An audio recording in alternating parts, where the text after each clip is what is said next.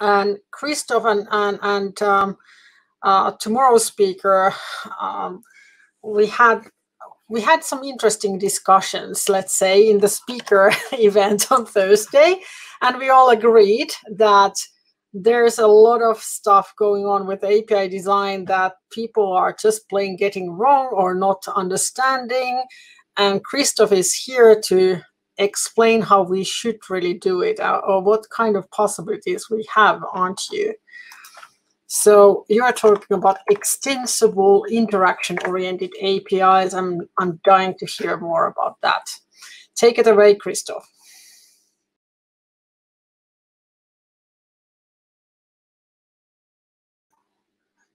You're muted, Christoph. Take, yes. oh, that's a typical much thing. better, much better. so thank you for the introduction. Uh, maybe I will start with a disclaimer. I'm not talking about the way to do things. It's just one tool to maybe add to your toolbox uh, that we've been successfully using also with the uh, my current employer, Autenti. Uh, let me start with a short introduction. I'm a proud lead architect of Autenti. Uh, and one of the things I've been doing, I've been working on an API that was to support uh, interaction-oriented uh, applications. So applications directly uh, interacting with an end user. And of course, we know all those. Yeah. So anyway, uh, Autenti is a is a startup.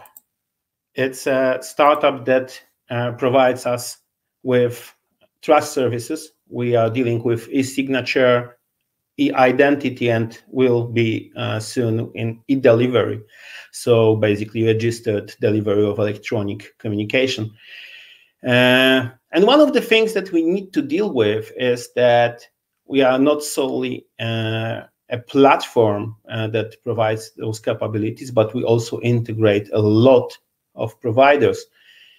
And they do the same thing in many, many different ways. And that's one of the reasons we approach the problem uh, the way we did and I will be talking about in a moment. But let's start with a bit of a history. Alan, who preceded me in, in the previous talk, uh, actually, I did a bit of my work because he talked a bit uh, about the, the, patterns and how things were used in the past. But let me just go over this very, very quickly. So the APIs were basically uh, here originally to, to have the machines talk to each other.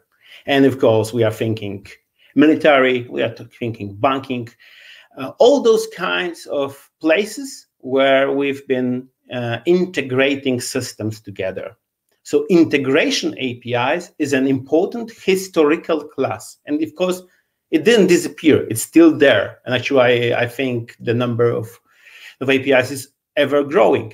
However, let me say that we did change the style a bit. So we originally did something that basically allowed us for telepresence, which basically we operated systems remotely.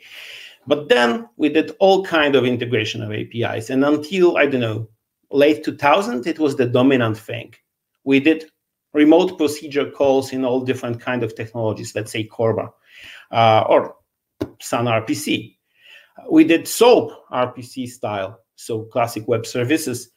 And of course, then we actually I started to talk about entities, about data, and the document style emerged.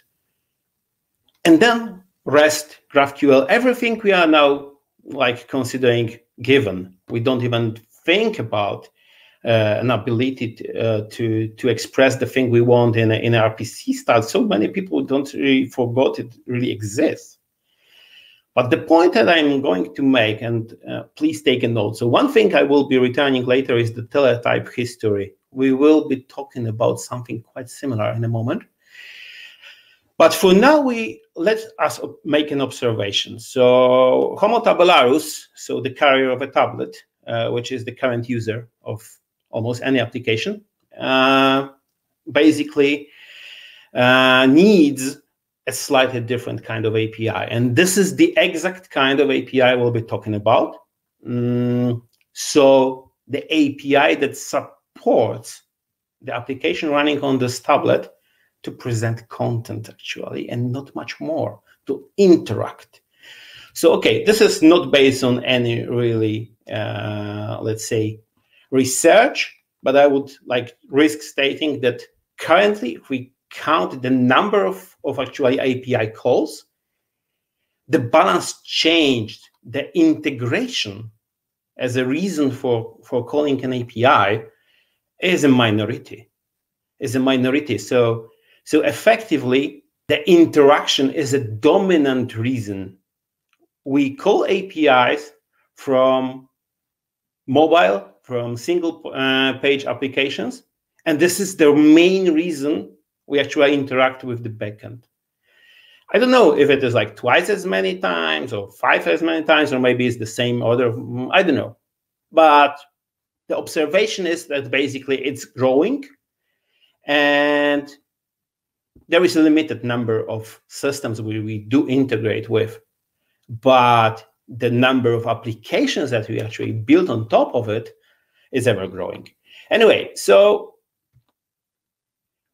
one thing that I wanted to say that basically we consider that when a single page application calls an API, oh, it's about the JSON, Ajax, everything around it. Well, not only. Actually, the classic web serve uh, web is also a huge REST system. We all know it, yes. But this thing that we let us observe that the presentation uh, of a resource as an API actually allows us to think about also the second thing that this JSON describing the content in a slightly different context, that they do not really differ that much. And let me go to a short detour. Let's make an analogy. So, uh, okay, so I was talking about the, the history, the ancient history when we actually World Wide Web was emerging. Well, this was all about APIs, yeah, and it is still. But okay, the detour that I promised. So, let me ask you a quick um, question, a provocative one. Does your TV enjoy the movies it plays. What does it mean? I mean, okay, let's watch a short video. I don't know if you can hear the sound. That's a scary movie. If you cannot hear the sound, there were some terrible sounds there in the background. But, well, your TV didn't really care. It was a horror movie. If it was a comedy, if it was a uh, television theater. If it was your breakfast show, it didn't care. It just delivered, you know, funny blots of color and some eruptions of sound that you, as a uh, person, pers- uh, perceived as a terrible horror story. And okay, we might be sometimes handicapped. We sometimes cannot perceive the whole spectrum. For example, if I had a hearing impairment that I potentially would need to get some, I don't know, uh, subtitles or uh, even audio description. And exactly this is being delivered to contemporary devices via APIs, the same way as anything around it. I mean, those are very specialized ones, but but still they exist.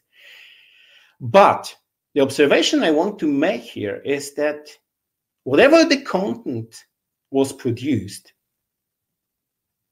I mean, the device didn't really need to understand it. I mean, of course, devices don't understand a thing.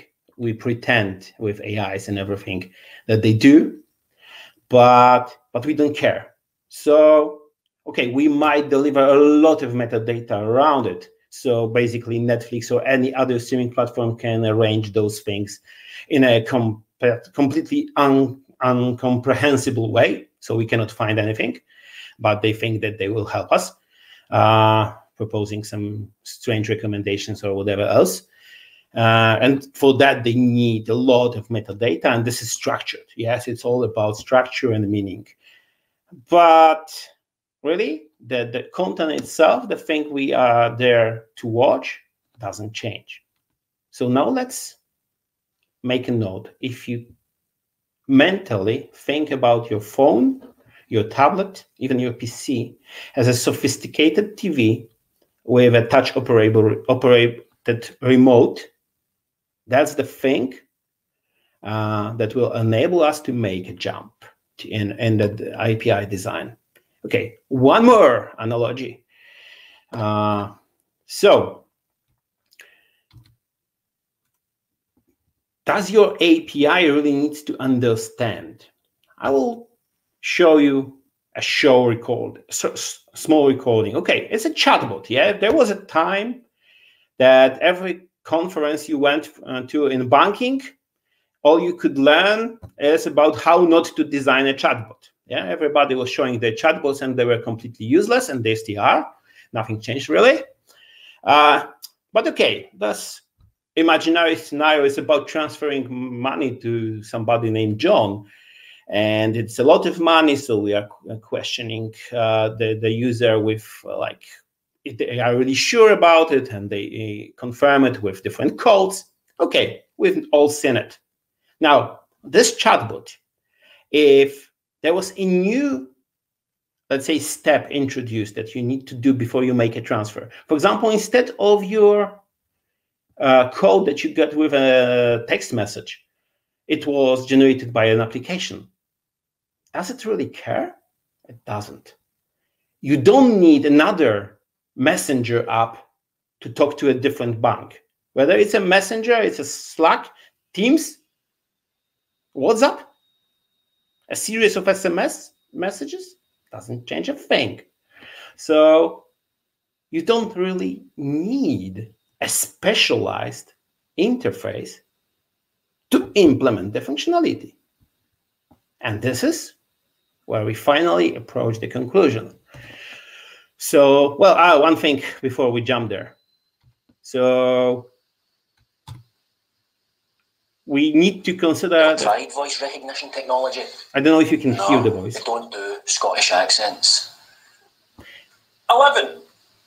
That is about two guys that. trying to convince an elevator to go 11. to the right floor because of the voice 11. recognition technology, and they are speaking Scottish 11. accent. Uh, you know. Please repeat that. And it doesn't work. And all I'm talking about today is not about the ability of understanding the responses of a user. Because what I'm proposing is to use the ability of the user to understand uh, the content delivered by the system. So it's the other way around. It's not about AI. It's not about uh, chatbots, which I used as an example, but it's not uh, what I'm mm, really focusing now on. Now, so okay, we know that those things can easily get confused, but we as people are intelligent beings, intelligent beings able to understand and to uh, have the semantic power to process whatever is delivered to us uh, without depending on a structure we didn't need a hint it's a horror movie to know it's a horror movie. We don't need a hint it's a banking application to understand it's about transfer. We don't need another uh, hint. Well, where do we open the uh, those text message uh, and and basically where do we get the text from? Or maybe we can get it from from this chatbot. They will tell us, okay, well, I have just sent you the code, but we don't really need it as the stupid machine that potentially needs it. And this is where the structure uh, data has its place and it will ever be there. But now, let me make such a thesis. The total number of interaction-oriented APIs is three, or maybe four. Doesn't matter, maybe five. But what we have just observed the thing to implement the sophisticated flow of a transfer needed two or three things.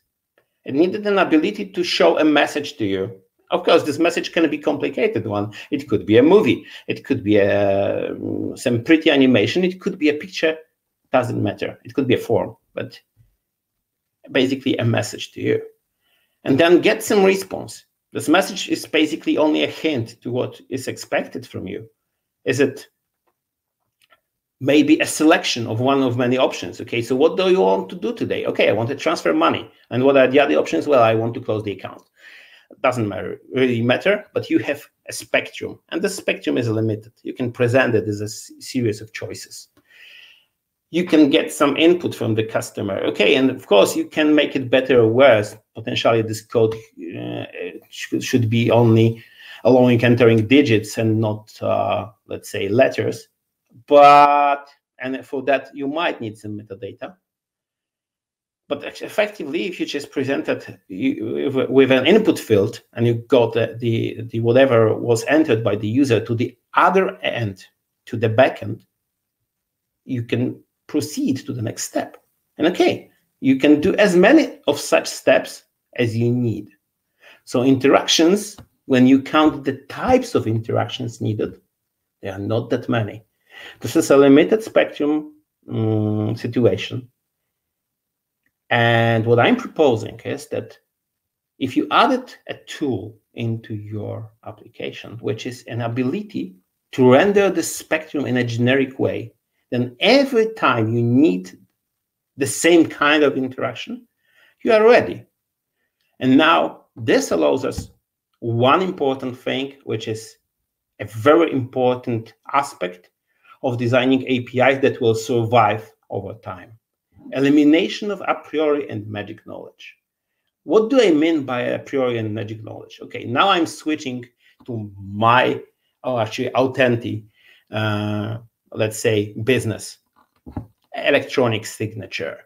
Okay, so if I got a document as a signer, and I've got a lot of information, actually, there are other signers. Uh, actually, I know what the signer structure means. Then, of course, I have some expectations like, okay, there is a signature that I need to make, and it needs to be qualified. And before I do that, I will need to uh, make an extra step with a second factor OTP. Yeah. This is all a priori knowledge. The fact that I will need an OTP and this need to be a signature that is qualified and I will need to get some consent. In a classic design of an API would be expressed by a lot of documentation, a series of scenarios documented, I don't know, with some Postman collection, whatever else, that basically gives the implementer of this application a knowledge what will happen next. What do i need to do to proceed? This style is there and it ignores the fact that basically uh, this knowledge becomes hard coded when it becomes hard coded a change of the logic, let's say the order of steps, a very simple change, order of steps is nothing complicated, uh, needs a change in the app. So the implementer of the API and the implementer, implementer of the app that uses this API becomes become linked. If I change my API, I will need to announce it in advance so people can adapt. I will need to support two versions for some time. And eventually, somebody will need to make a switch. And of course, we have the versioning strategies, we have the designs that we add fields instead of changing them so that some of them can be ignored, etc., etc. All about, uh, let's say, support for an API to su uh, survive a little bit longer. But in the end, it's all magic. We just need to know okay there will be consents asked for and we'll need to give those consents to the user to to to express their uh, say intent yes i want to do that and if we do it in a particular order this is exactly what uh, needs to be hard coded our proposal because of a situation we've been in so uh, the thing that we had to connect many, many, many providers and new every day potentially, and they differed. We were not really able to release an API that would be stable if we followed this pattern. So what we did instead, well, this is the, where the elimination of this magic comes in. So the minimum amount of information is basically, okay, there is something to act on. Uh, this is a document, let's say, uh, or a process of signing. It has an ID, and that's basically all I need to know. Because from that moment on, I can just express it with generic terms. So I want to act on a document. I don't care if I'm a signer. Okay, I can get it in a, in a, a message to me that I was in a role signer. But if a new role appeared, it would have different options. And I don't really need it because if I ask the way I did here, I can get my list of actions available. Okay, do you want to sign or reject this document? Because that's what a signer can do. Oh, oh yeah, I, I know that I want to sign, so I'm choosing, yeah, to sign. And if I'm signing, okay, I will need some consents. Great. This is the list of consents you need to give. And again, in the next interaction, I'm doing the very same thing, repeating the things that I have already collected and adding those new decisions, those new inputs gathered from the user. Everybody, I think, here seen a wizard or step-based interface, and this is exactly what can be very easily implemented with, because not every interface in the world benefits from this design, but it's a weapon if you need this adaptability, and it's also a fallback option for your API that might have a very specific set of endpoints that are there for those who know what they are doing. But for everybody else, they can do the generic thing. Okay, so what we've implemented was a challenge action response API system. And the challenge response was there for, for quite a while, honestly, but it was confined usually to security. Let me just, um, uh, let's say, look at the anatomy of a challenge to understand what the challenge is. So there is a lot of information that is specific to the challenge, but there is one thing that is uh, important is that all we need really to know how to, uh, to handle a challenge is to know that kind of interaction. So if the challenge calls for entering a value, whether it's a telephone number or it's a one-time password or it's an email to log in to, or whatever else, really, what we need to know to support it is that we are to ask the, the user to enter something. If it was to select something from a drop-down, okay, we want a list of options. And here's the list of options. That's all we need. If we, there was a, I don't know, uh, a video to be taken of, of, your face to, to do a biometric. Okay, this could be another type of interaction. But again, the spectrum is like one, two, five different kind of interactions total. You don't need that many. So you can guess them in advance and they will survive for a long time.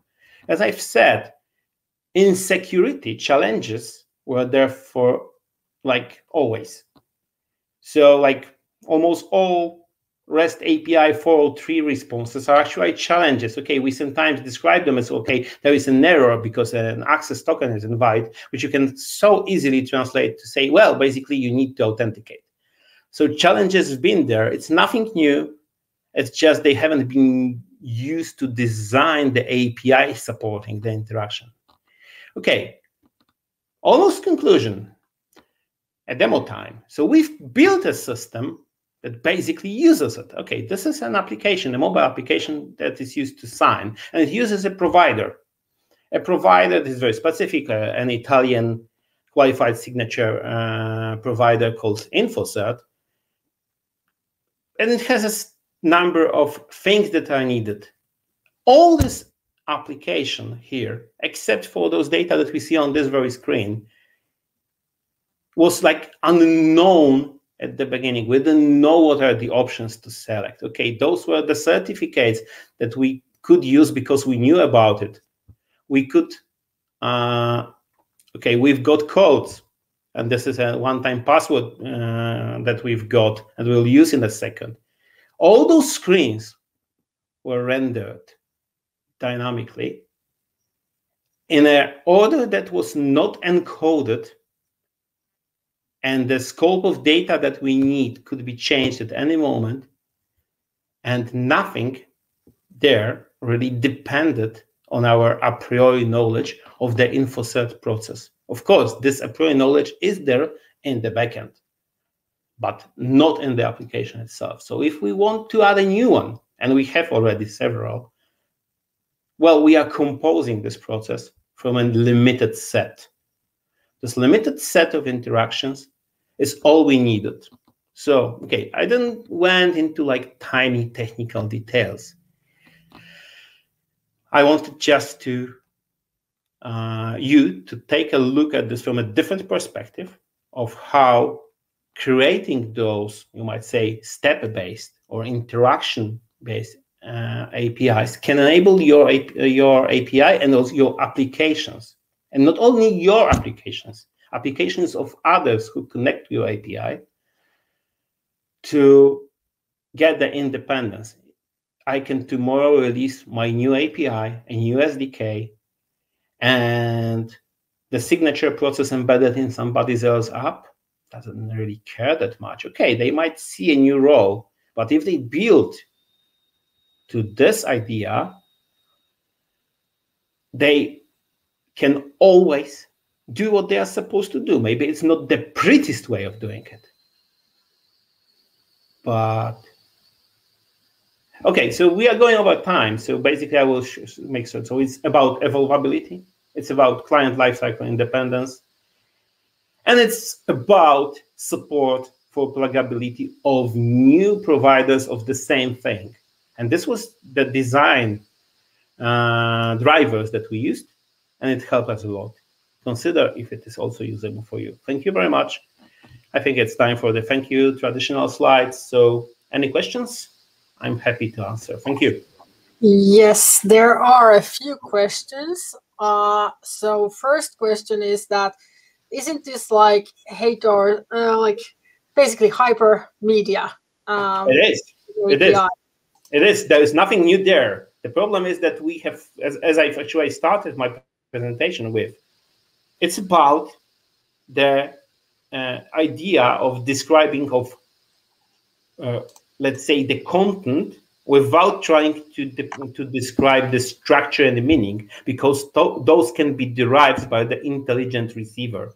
The intelligent receiver a person is yeah? So we don't need a lot of this bandwidth that is i mean used currently like in rest apis for describing things that are completely irrelevant yeah to to let's say the application that does it if we had unlimited bandwidth we could just basically stream the video that changes dynamically and in and i mean pass the, the mouse clicks or touches to the other side and we did it honestly. That's mm-hmm. what the remote does and the tv does yeah? So if we had a lot of bandwidth we could just basically stream the mobile apps. But we don't do of course it, because we have limited bandwidth, and actually it's not the, probably the easiest way of doing it. But we can basically, by limiting this this the spectrum, also save this bandwidth, preserving a lot of benefits. So it's kind of like going the IoT route, but with this kind of, or the, like having the same limitations as with with IoT and and kind of I mean, even if we didn't have those limitations, yeah, we yeah. probably wouldn't really stream like moving pictures to, yeah. to the generic player, yeah. Although yeah. let's remember that the browser is the exact thing; it's the generic renderer, it is, it and the capturer of the events that the people do, and you don't need a different browser to, to work with a different bank, yeah. Yeah, but I, I think that there's also the danger here. Like, I don't know who in the audience, or, or maybe also you have done any kind of like generic um, state machine type of uh, architecture at one time or another. We've all been there probably, and we've all kind of hit our heads in the walls of that uh, concept. And there's kind of this always this risk of like going too generic. Uh, mm-hmm. while still keeping the the tag. But really interesting concept. And we have here another comment from Michael Hofwood that actions remind me a bit of VMF ontology, analyzing everything as a verb, also used behind the scenes by DOI system. So, yeah. Yeah, I think that uh, there are parallels to that. Yes, yeah. yeah. I mean, as I've said, there is nothing new there. It's as old as as the computer systems are when they finally were able to talk to people.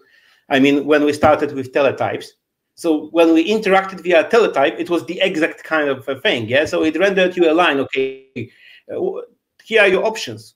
Select one or two or three or five or four. Yeah. And we did. Okay. Option four. Okay. Next step. Next step. Next exactly. Step. That is oh exactly why I started with the teletype history. Yeah. Because that's the way the same thing. So back. yeah. Okay. Hey, but it has been an interesting track a lot of time traveling in this track today. And uh, I think that we'll thank you, Krzysztof, and thank the audience. And I know my head hurts right now because of all the information overflow that I have received. So get your coffees and, and have some light exercise and come back at 4 uh, p.m. EET and 3 p.m. CET to hear the next talks, which are slightly less technical, more business oriented in stage one. Okay, thank you, Krzysztof. See you next time, perhaps.